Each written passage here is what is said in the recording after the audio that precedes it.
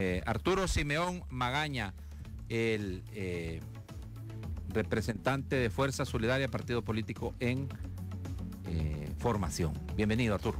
¿Qué, qué tal, hombre? Perdón, bueno, lo- comenzamos con el pie izquierdo, pero, pero perdón, este, realmente teníamos ahí algo, un tema bien complicado y, Sí, está bien, no hay y la puntualidad nunca va a ser, nunca es perdonable, pero igual. Sí, Eh, bueno, importante el saludo a los salvadoreños, a los aguachapanecos, Sí. a la, la ISKL y, y a ti, hermano, por darnos la sí, no, oportunidad. gracias. No, primero gracias por hacer el esfuerzo de venir, ¿verdad? Porque estando en una reunión, lo, lo- lo más fácil es decir no voy, ¿verdad? Pero creo que se reconoce el esfuerzo de venir a cumplir, no con este servidor, con el pueblo salvadoreño y además con, con el pueblo aguachapaneco, ¿verdad? Porque Así es. Arturo Simeón Magaña es aguachapaneco y también, como decíamos, eh, proviene de una familia de, de- de- de empresarios y políticos, ¿verdad? Así es. eh, siempre hemos- mi familia siempre ha estado, siempre ha estado involucrada en, en- en política, definitivamente, históricamente. Sí. Y obviamente pues somos empresarios agrícolas ya de rato para, Sí, para acá. Y siempre hemos tenido la bendición de Dios, tanto en nuestras empresas como la Sí. bendición de Dios Yo- de contar con el apoyo. Yo, de yo decía, Arturo, que siempre estabas dando de qué hablar. Reapareciste de la nada para el Tribunal Supremo Electoral y con la intención de un partido político, Fuerza Solidaria. ¿De dónde? Porque para ser bien honesto, eh, creo que era el secreto mejor guardado, porque nos, quedamos todos con el ojo cuadrado. ¿Y, de dónde? vea? Pero llegaste al tribunal y para solicitar los libros para recolectar las firmas. A ver, este, este tema nace más que secreto, vea, no, no hay nada, no no hay nada secreto. Lo que pasa es que salió un tema de la nada. eh, la, la población, los amigos, los vecinos, la familia, el eh, decir alcaldes, diputados de diferentes partidos políticos, los presentables. Siempre hay que decir hay impresentables que no serán, serán, que yo creo que ni en el infierno van a ser bienvenidos, Sí. vea, pero, pero obviamente hay políticos presentables que son que, que podrán estar en partidos, digamos, de, de otros Y tipos de está- y que son bienvenidos a Fuerza Y Solidaria. que obviamente van a, ser, van a ser bienvenidos porque gozan de algún respaldo y de alguna credibilidad. Sí. ¿Por qué te digo eso? Porque de ahí nace, cuando yo comienzo a ver ese vacío que existe eh, en la actualidad, porque no hay una oposición con credibilidad. Hoy por hoy tenemos el partido Nuevas Ideas, que es la primera fuerza política y estoy casi seguro que puedo augurar que va a seguir siendo la primera fuerza política de cara por lo menos al 2024. Ujú, ujú. Yo creo que no hay que hablar mentiras y esto es un tema con que no vamos a venir a decir vamos por la, vamos a ser la primera fuerza política, tampoco vamos a venir a decir que vamos por 50 diputados, no. O que vamos por 150 alcaldías. Yo creo que Fuerza Solidaria debe de, de dar nacimiento a un nuevo partido político, pero también a una nueva forma de hacer política y, y dentro de la nueva forma de hacer política es presentarse al pueblo salvadoreño hablando la verdad. Y- y insisto, y recapitulo. Entonces, tenés a Nuevas Ideas, que es un partido que es la primera fuerza política, tenés al presidente de la República que goza con una, de una alta credibilidad política hoy por hoy, pero tenés a una oposición que está dejando un vacío en aquellas personas que no se sienten representadas por el actual partido oficialista, pero tampoco se sienten representadas por Arena, por el FMLN, mucho menos por estos cadáveres políticos como Gana PCN, Democracia Salvadoreña que no, no tiene nada, vamos, que metió una diputada por, por, por suerte de San tirar. Salvador, en San San Salvador. Salvador, que una diputada de, de eso, de, de la suerte política que entró, ¿no? Eh, tenés un PDC que quedó moribundo tras la partida de Parker porque ni él logró entrar. Entonces, definitivamente el PCN, definitivamente tenés, tenés la, la- la- se logró ver, pues, digamos, se logró Na- na- visualizar. o sea, porque tú pudiste haber optado por lo por incorporarte como lo ha hecho José Andrés, eh, tu ex compañero de, de- de partido. sí, am- amigo personal, eh, José eh, Andrés. este, Jo- Fidel Fuentes, que también se ha incorporado a la nueva democracia cristiana. Pero para ti, na- nada de eso. eh, Lo- lo- yo recibí la invitación del diputado Carballo y estuvimos ahí en el hotel. Eh, estuvimos en un hotel, no vamos a hacer sí, propaganda. no, claro, no nos pagan. sí, Estuvimos cuidadito. Estuvimos echando. Pero, o sea, sí, se- sí, sí, te reuniste sí, con, sí, un con gran Reinaldo amigo, Carballo. Un gran amigo, el señor Carballo, me, hizo la invitación, se la agradezco y no estoy en contra de este, de este proyecto de ellos. José Andrés me hizo la, la invitación también, es un gran amigo, no estoy en contra de, de este proyecto, pero la gente quiere algo nuevo, la gente quiere una oposición que nazca de la idea de ser propositiva, de ser constructiva, de ser viable, de ser amiga una oposición amiga del gobierno que signifique oponerse en lo, en lo negativo, pero sumarse en lo positivo. Pero la gente quiere una bandera nueva.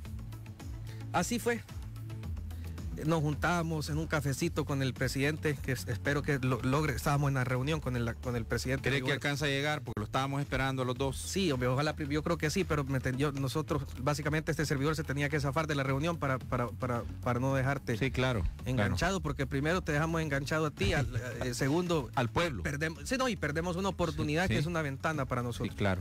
Entonces, eh, entonces Rigo y yo comenzamos a platicar, comenzamos a formar este movimiento. En Santana se nos ha sumado el exalcalde de San Sebastián Salitrigo Hugo Calidonio, tenemos a Chungo Grande en La, en la Paz. Eh, Jesús Grande. Jesús Grande, correcto.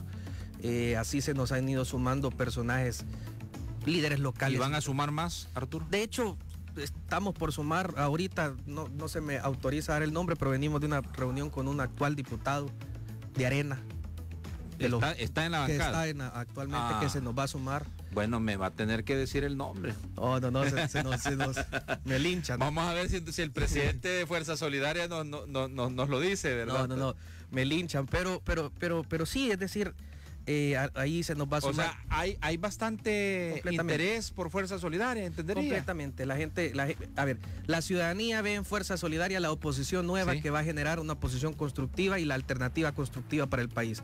Y la clase política ve en Fuerza Solidaria la única oportunidad es políticamente sobrevivir. Ahora, Claramente estamos abiertos para esa supervivencia política y garantizar esa supervivencia política a aquellos buenos políticos. Los impresentables creo que ni se acercan, saben claramente que no. Bueno, hablemos pues de los que tienen las puertas abiertas en Fuerza Solidaria, porque apenas empieza el proceso de recolección de firmas y no es fácil, ya lo digo yo. Pero bueno. Cuando se goza del apoyo del pueblo, te puedo garantizar a través de nuestras redes sociales que le vamos a demostrar al país que es fácil don, don Arturo eh, don Arturo este don este el, presidente de Arena verdad Eric Salguero pues les mandó saludos verdad qué dice don Eric no pues dice que, que pues que ahí andan coqueteándole algunos líderes dice de Arena y bueno, ustedes saben también la, lo, es que... es diferente, diferente, diferente cuando uno anda detrás de la novia que la novia anda detrás de uno. Ah, bueno, eso sí. Entonces lo que creo que el presidente, el señor Eric Salguero no logra entender es que es que la arena moribunda que tiene anda detrás de sumarse a este nuevo proyecto que es de cara al futuro de nosotros. Yo creo que, y es entendible que él, obviamente él tenga esas posiciones porque, pues sí, es un cadáver político que que, se aferran a ¿Hay buenos areneros ahorita que, que, van a dejar arena? Definitivamente que sí. Es que, es que. ¿Y se van a sumar a Fuerza Solidaria? Sí, y tal, y tal vez, y tal vez habrán buenos areneros que se han apartado que probablemente no se van a sumar. Pero sí, sí es que, es que es decir, no, no podemos estereotipar, ¿no? sí, claro. pero yo estoy viendo bien importante, ¿verdad? estoy viendo yo eh, para, para definir, vamos a irnos a la pausa para adentrarnos a temas un poquito más, quizás un poquito más más candentes espinosos, pero definir ideológicamente a Fuerza Solidaria. Es lo que yo quiero, porque en realidad este, tú, eh, Arturo, eres un hombre de derecha, ¿verdad? Entiendo yo, ¿verdad? Que, que, así es. Entonces tú nos vas a explicar cómo está este asunto y, bueno, hablemos de los que tienen las puertas abiertas y de los impresentables, como dices tú, que tienen las puertas cerradas, ¿verdad? Vámonos a la pausa, regresamos. Estamos de regreso, gracias por estar en nuestra sintonía. Son eh, exactamente las 2 con 29 minutos. Estamos haciendo, en verdad, este espacio también para ver si todavía en el último segmento del programa se reincorpora el presidente de Fuerza Solidaria, el exdiputado Rigoberto Soto, eh, también ex miembro de Gran Alianza por la Unidad eh, Nacional. Arturo, eh, ¿cómo se define ideológicamente Fuerza Solidaria? Te contesto esa pregunta y quiero hacer promoción al, último tuit que acabo de poner, y luego te contesto. Hoy a las 2 pm en el municipio de Coatepeque, Santana. Actualmente, está, ahorita está haciendo en conferencia de prensa eh, oficial la renuncia al exalcalde, don Jorge Ruiz, cuatro concejales que conforman el Consejo Plural que Arena logró meter en, en Coatepeque, la directiva municipal actual de Arena conjunta, y obviamente se suman a Fuerza Solidaria. Em, el día de mañana serán dos directivas municipales conjuntas de, la Gran Alianza por la Unidad Nacional de Gana de, que se van a sumar. eh, ya hay como cuatro alcaldes. El actual alcalde de Coatepeque. No, el, exalcalde. Exalcalde de Coatepeque. Actual concejal junto a tres concejales más con su directiva municipal. Renunciando a Arena. Sí. ¿Y se van a sumar a Fuerza Solidaria? Ahorita están. Ahorita ah, muy bien, perfecto. Me disculpo por no asistir a la conferencia que me invitó el señor Jorge Ruiz, pero teníamos aquí el compromiso con, la ISK. Bueno, pero ya lo, ya lo, ya lo escuchó el pueblo salvadoreño lo que tú estás diciendo. Entonces, ¿cómo definir a Fuerza Solidaria ideológicamente? A ver, más que yo no quiero hablar de ideologías, yo quiero hablar de principios. Una ideología a veces nos encaja, nos encierra a no podernos sentar, a no podernos sentar a dialogar y a consensuar por el país, pero sí hay principios que van a ser totalmente cero negociables para Fuerza Solidaria. Uno es el principio de la seguridad jurídica que tiene relación directa y que son primos hermanos con el Estado de Derecho, con la democracia, con velar por los principios que implica luchar por la perseverancia de la democracia, el Estado de Derecho, la seguridad jurídica, la propiedad privada, todo lo que eso implica. Segundo, Fuerza Solidaria tendrá una línea directa o una agenda clara en función de luchar por los derechos fundamentales de los ciudadanos, entiéndase el derecho a la vida desde la, concepción, eh, entiéndase libertad, de, libertad económica, entiéndase derechos humanos básicos como el acceso al agua potable, entiéndase todos estos derechos que la Constitución de la República reconoce como inherentes al ser humano. Y tres, la palabra el nombre no es un nombre publicitario, es una fuerza solidaria, es un partido que nace del pueblo, que le da fuerza al pueblo y que tiene como palabra solidaridad. De ahí es nuestra característica social del, proyecto político. Vamos a hacer un, partido político porque lo vamos a hacer, porque vamos a reunir las 50 mil firmas. Nos hemos puesto como meta reunir 60 mil firmas, no en los 90 días que nos da el Tribunal Supremo en menos tiempo. En mucho menos tiempo. Eh, y cuando seamos partido político, desde ya estamos comprometidos con el Estado de Derecho, con la democracia, con la libre empresa, con el libre mercado.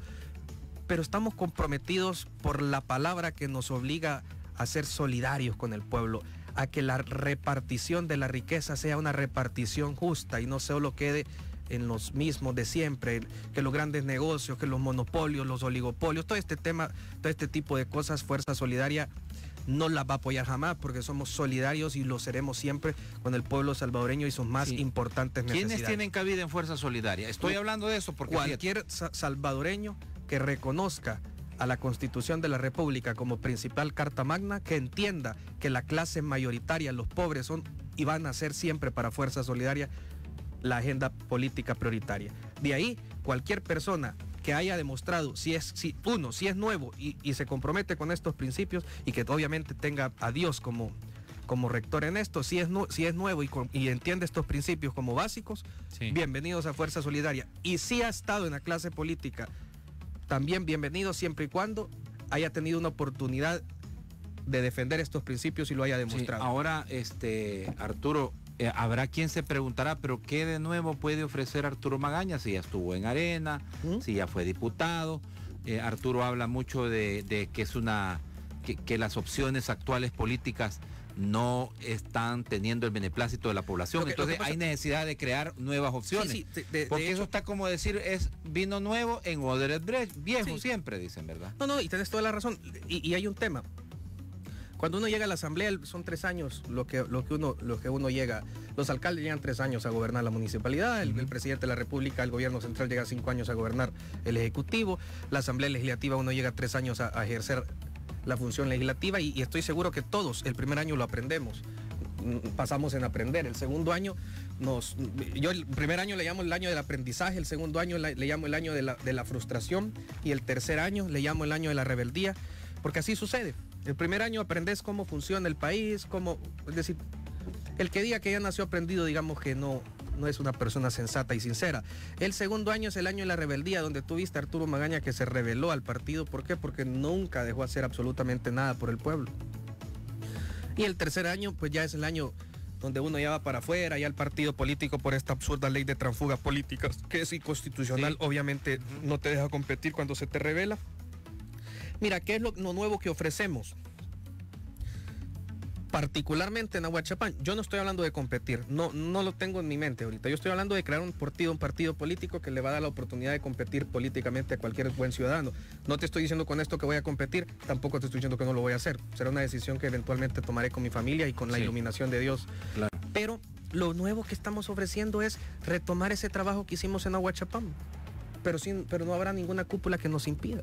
Lo nuevo que te estamos, que estamos ofreciéndole al país es una oposición constructiva que nunca ha existido en este país. Y entonces, ¿por qué Arturo Magaña no fue constructivo? Yo particularmente siempre fui constructivo. Le recuerdo al, Salvador cuando, por ejemplo, el señor Norman Quijano, el prófugo, el prófugo señor Norman Quijano, este, quería agarrar 30 millones de dólares para hacernos oficinas de lujo, nos iban a hacer baños, nos iban a poner muebles eh, como de no sé cuántos miles de dólares, o sea, una oficina de lujo. ¿vea? Y entonces este servidor fue el promotor en apoyar al presidente de la República para que estos 30 millones de dólares fueran a invertirse en educación, por ejemplo. Eh, eh, entonces, ¿qué pasó con eso? Obviamente no se logró hacer. Entonces, ¿qué va a pasar cuando estemos como fuerza solidaria? Vamos a lograr hacer ese tipo de cosas que no las pudimos hacer porque la oposición burda, absurda y negativa y oscura de, manejada que digamos por la dirigencia, Cohen y FMLN, no lo permitieron. Y así, tú sabes, Arturo, los grandes debates, por ejemplo, para financiar el tema del COVID, con Fuerza Solidaria no van a haber grandes debates cuando hayan pandemias que ni Dios quiera exista otra, porque vamos a estar listos para apoyar, no para tratar de negociar maletines negros y ese tipo de cosas. Arturo, ¿hay eh, alguna decisión política que tomaste cuando fuiste diputado una parte como con Arena y otra parte como diputado y, eh, como diputado independiente porque te retiraste de Arena. ¿Hay alguna decisión que hayas tomado que de la cual hoy te arrepientas? No haber votado por el desafuero de Norman Quijano. ¿Te arrepientes? Completamente. Porque no tenía la madurez suficiente ni la entereza suficiente y me vi débil ante las presiones políticas y sucias y oscuras del Cohen. ¿Te presionaron? Completamente y por respeto y amor a mi tú querías votar, tú querías votar en contra eh, tú querías votar a favor de que lo desaforaran sí y por respeto y en contra por respeto a mi vida y a la de mi familia evitaría este tema pero sí, me arrepiento de no haberlo hecho. Pero ahí está la bancada que ha cometido eh, aciertos y desaciertos es un tema debatible pero un acierto fue haberlo desaforado completamente. Tú apoyas eso completamente que sí. Muy bien bueno, eh, a ver, eh, muy interesante porque Norman Quijano ahora mismo es un prófugo de la justicia, ya un tribunal. Y aclaro, si este servidor hubiese votado por el desafuero, igual Norman eh, no hubiera sido desaforado. A Norman le faltaron tres votos. No, no, no, no, Nunca fue solo uno, esa fue una campaña publicitaria negativa en contra de este O sea, tu voto no era, no, era primordial para desaforar. No, es que también por eso puedo decirlo, porque si no quizás estuviera escondido debajo de la cama. O sea, cometí un gran error político del cual me voy a arrepentir toda la vida de no haberle cumplido al pueblo salvadoreño, que era lo que exigían en ese momento. Uno, dos, puedo salir a dar la cara porque no fue por mí. O sea, ese servidor hubiese votado por desaforar, le hubieran faltado dos votos. Eh, entre uno o dos votos, porque por ejemplo faltó el voto del, del, ex diputado Merino, quien todo el mundo esperaba. que... él no votó. es decir, si no creo yo que no, viviera acá de, la vergüenza. bueno, entonces eh, te lo quería preguntar porque este, eso creo que quedó todavía ahí un poco en la, en la nebulosa, ¿verdad? Y entonces yo creo que lo, has aclarado. A ver, eh, Vanessa, vamos a la última pausa y regresamos. Quiero hablar eh, ojalá que llegara don Rigoberto, presidente de Fuerza Solidaria, porque quiero hablar de la polémica alrededor de el, tema de quiénes están detrás de Fuerza Solidaria o quiénes eventualmente estarían detrás de Fuerza Solidaria. Y aquí está precisamente un miembro del directorio de, Fuerza Solidaria que nos lo pueda decir. Y ojalá, digo, que se incorporara también el diputado Rigoberto Soto y ahora presidente de la Fuerza Solidaria para aclarar también algunas dudas y conceptos. Vamos a la...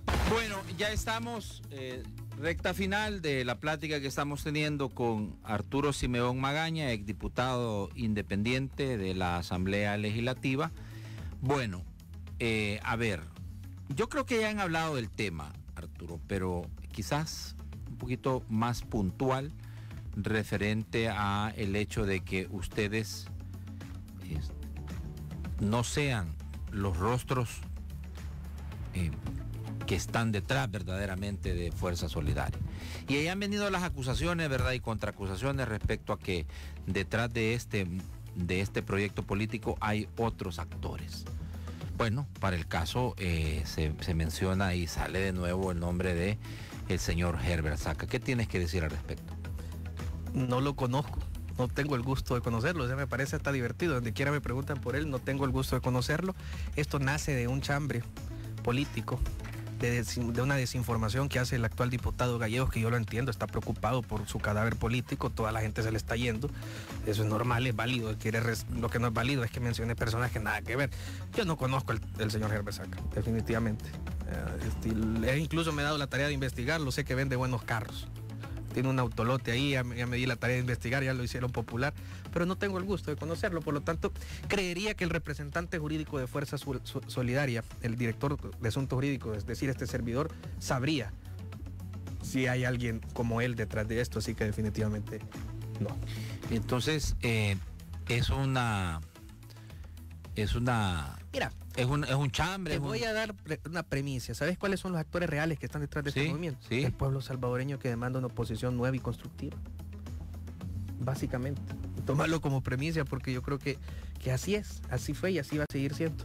Y se van a dar cuenta, se van a dar cuenta nuestros detractores políticos, que es normal, detractores políticos que nacen producto de, de aquellas personas que no comparten con Arturo o con Rigo o con algún otro dirigente, y la gran mayoría de tractores políticos que nacen producto de que ven en nosotros una alternativa que viene a desplazarlos.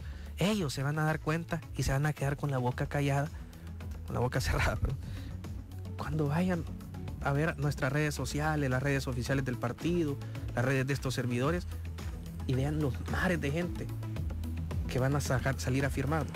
Si es que mira, aquí dirán misa, pero si juntamos las, las 50 mil firmas que nos pide el Tribunal Supremo Electoral, somos legalmente un partido que goza de la legitimidad del pueblo salvadoreño. Ahorita digan, que digan lo que quieran cuando vean la cantidad de ciudadanos que se nos, se nos suman, salvadoreños de a pie, empresarios, líderes políticos locales, líderes políticos locales nuevos, eh, personas que jamás se han metido en política que igual van a involucrarse. Entonces ahí tomarán en serio este proyecto. Y yo creo que lo están tomando en serio. Ahora, en, el directorio, en el directorio, el presidente de Fuerza Solidaria, Partido Político de Información, es don Rigoberto Soto. Tú estás como director jurídico. Sí. ¿Quiénes más están conformando el, directorio?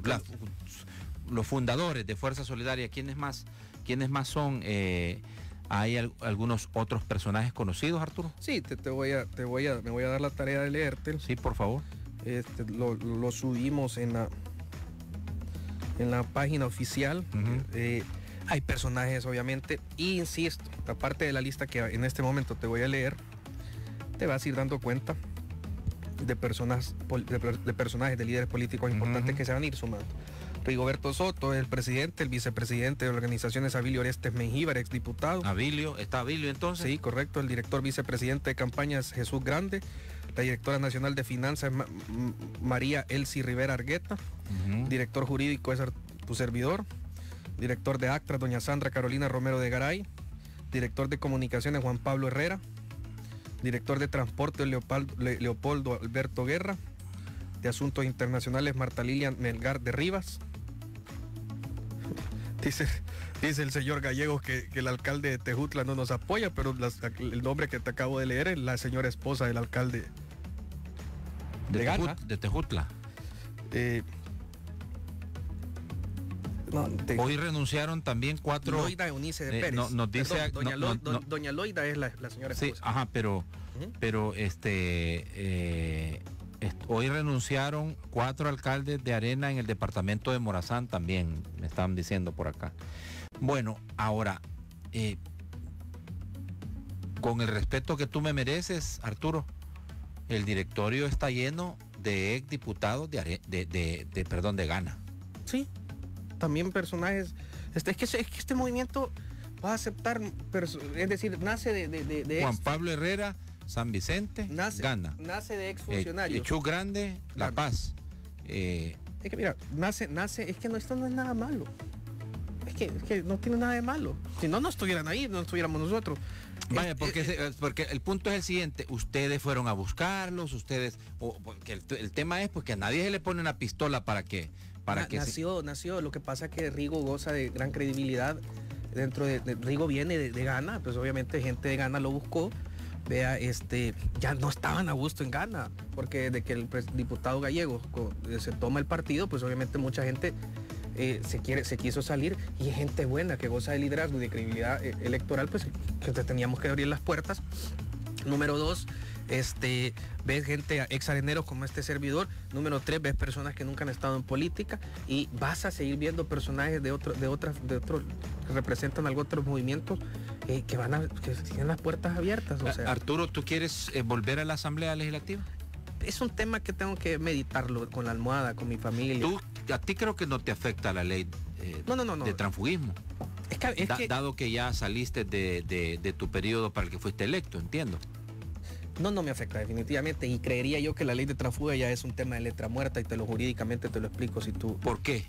¿La van a derogar? No, no sé, desconozco, no estoy en asamblea, pero sí te puedo asegurar lo siguiente la sala de lo constitucional le da el permiso al señor presidente de la República de reelegirse, ¿sí o no? Sí. Sí, sí, eso ya fue, eso fue resultado de, otra de otro y demanda. y en esa en esa resolución la sala de lo constitucional que lo siguiente lo retomó el Tribunal Supremo Electoral, máximo organismo en materia electoral, dice que tiene la autorización jurídica de reelección, si él así lo considera conveniente, y por cualquier partido político.